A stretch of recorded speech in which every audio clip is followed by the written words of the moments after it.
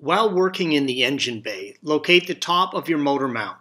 The left side engine mount is shown in this photo with the air filter housing removed. Remove the nut from the top of the motor mount, indicated by the green arrow.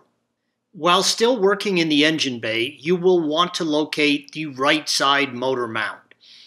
The right side engine mount is shown in this photo looking down past the exhaust manifold. Remove the nut from the motor mount indicated by the green arrow. Next, support the engine from below using a hydraulic jack. Place a block of wood between the corner of the engine pan and the jack pad, green arrow.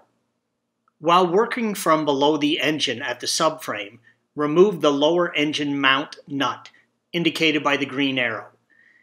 Tip, if you have one bad engine mount and one good mount, remove the bad mount first. Next, loosen the engine mount nut on the opposite side of the engine mount you are replacing. Do not remove the nut, indicated by the green arrow. Doing this allows the engine to be raised enough to remove the engine mount on the opposite side of the engine. Jack the engine until the engine mount can be removed from the vehicle. You will see the upper engine mount stud move free of the upper bracket, green arrow. Remove the engine mount from the vehicle once it's free. Installation is the reverse of removal. Thanks for watching. Click here to view the original article, along with hundreds of other DIY content for your car.